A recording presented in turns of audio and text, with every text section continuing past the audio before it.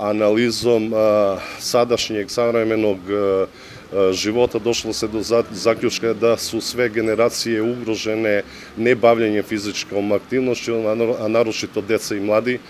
I otprilike oko 70% ovaj, dece ima posturalne probleme, odnosno određene deformitete što se tiče tih posturalnih problema u vidu lordoza, skolioza i kifoza i upravo zbog toga je pokrenuto obeležavanje Evropske nedelje sporta. Mi smo 2019. prvi put ovaj, krenuli obeležavanje te Evropske nedelje sporta, 20. i 21.